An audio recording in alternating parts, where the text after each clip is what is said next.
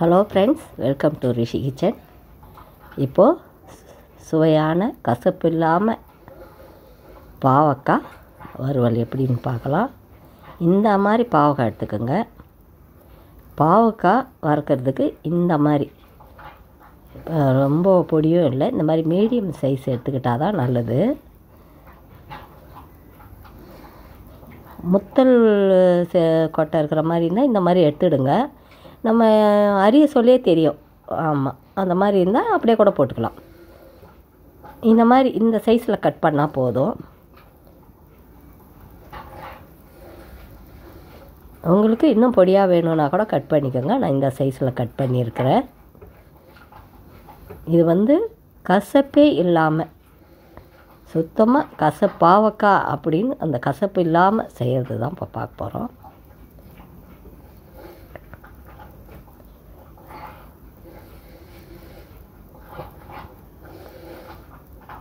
அது நல்லா வாஷ் பண்ணிவிட்டு இப்போ கட் பண்ணி வச்சுட்டோம்.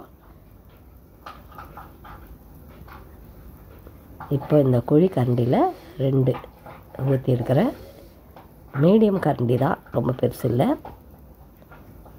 கடுகு உளுத்தம் பருப்பு ஒரு ஸ்பூன். கொஞ்சம் போல் பெருங்காயம். இது நல்லா பொறிஞ்சு வந்ததும் கருவேப்பிலை கொத்தமல்லி சேர்த்துக்குங்க. நான் கருவேப்பிலை மட்டும் போட்டிருக்கேன்.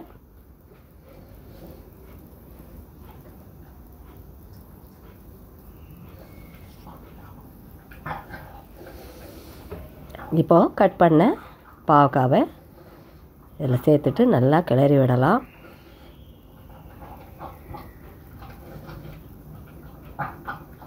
நல்லா விதங்கின பிறகு தான் நம்ம தண்ணி ஆட் பண்ணோம். ஃபஸ்ட்லே பண்ணக்கூடாது.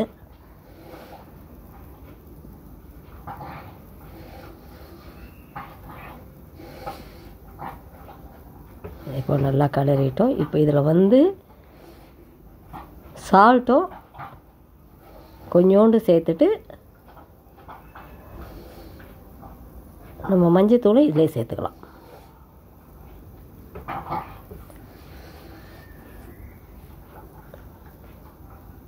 நம்ம சால்ட்டும் மஞ்சத்தூளும் சேர்க்க சொல்ல சீக்கிரத்தில் பொதுவாகவே காய்கறிகள் சீக்கிரம் வதங்கிடும். நம்ம மஞ்சளும் சால்ட்டும் சேர்க்க சொல்ல. இப்போ இதை நல்லா கிளறி விட்டுட்டு மூடி வச்சுடுவோம்.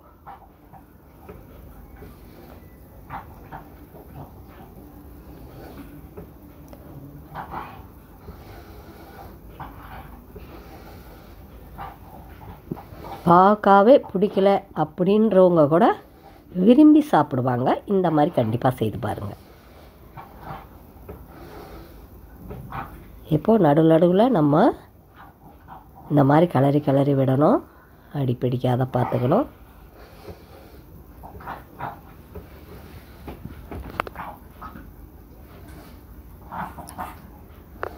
இதை நல்லா சுருங்கி வரணும் பாவக்காய் அந்த அளவுக்கு வதங்கணும். இஞ்சி பூண்டு பேஸ்ட்டு ஒரு ஸ்பூன் போட்டிருக்கேன். இப்போது இதில் பெப்பர் நம்ம வந்து மிளகு அண்டு ஜீரகம். இது ரெண்டுமே இப்போ சேர்த்து தான் போட்டிருக்கேன். இது அரை ஸ்பூன் அது அரை ஸ்பூன். ரெண்டும் பவுட்ரு படி தான் போட்டிருக்கோம். வெறும் மிளகாய்த்தூள் கால் ஸ்பூன். இது வந்து நம்ம குழம்பு மிளகாய்த்தூள் வீட்டில் அரைப்போம் பார்த்தீங்களா அந்த மிளகாய்த்தூள் ரெண்டு ஸ்பூன். ரொம்ப தண்ணி ஊற்றக்கூடாது கொஞ்சமாக தண்ணி ஊற்றினா போதும்.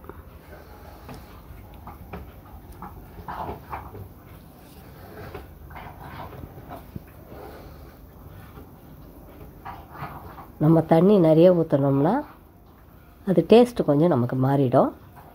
அதனால் பாருங்கள் நான் தண்ணி எவ்வளோ ஊற்றிக்கிறேன் பாருங்கள் இவ்வளோ தான் ஊற்றணும் இப்போ இதை நல்லா மூடி வச்சுட்டு நல்லா அந்த தண்ணியெல்லாம் நல்லா ட்ரை ஆகணும். அது வரைக்கும் நம்ம கிளறிக்கிட்டு இருப்போம். இப்போ பாருங்கள் தண்ணி வந்து நல்லா ட்ரை ஆகிடுச்சு இன்னும் கூட கொஞ்சம் நல்லா ஸோ வதங்கி வரணும். இன்னும் கொஞ்சம் எண்ணெய் ஊற்றலாம் இதில். எண்ணெய் ஊற்றிட்டு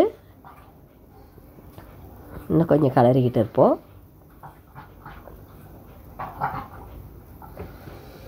இதுக்கு அதிகப்படியான மசாலா எதுவுமே கிடையாது. சிம்பிளான மசாலா தான். ஆனால் டேஸ்ட்டான பாவக்காய் வறுவல். இப்போ கொஞ்சம் எண்ணெய் ஊற்றிருக்குறோம் திருப்பி நல்லா கலரி ஏன்னா இது வந்து பாவக்காய் வந்து அந்த கலர் மாறும் பாருங்கள் ஒரு மாதிரி அந்த அப்போ தான் அந்த கசப்பு தன்மை இருக்காது.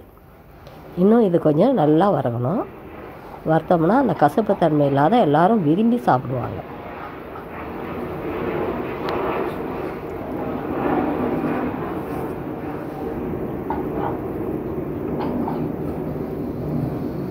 இப்போது பாவக்காய்.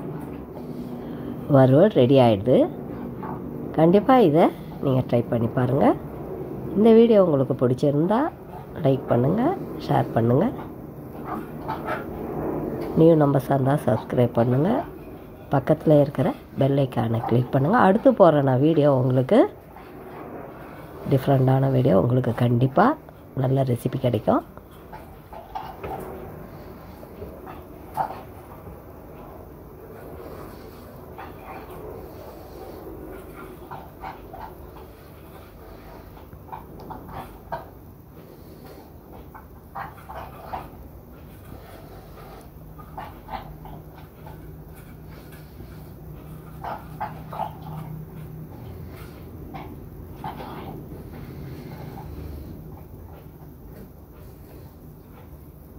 இது செய்து பார்த்துட்டு கமெண்ட்டில் கண்டிப்பாக சொல்லுங்கள் நெக்ஸ்ட் வீடியோவிடம் சந்திக்கிறேன். தேங்க்ஸ் ஃபார் வாட்சிங்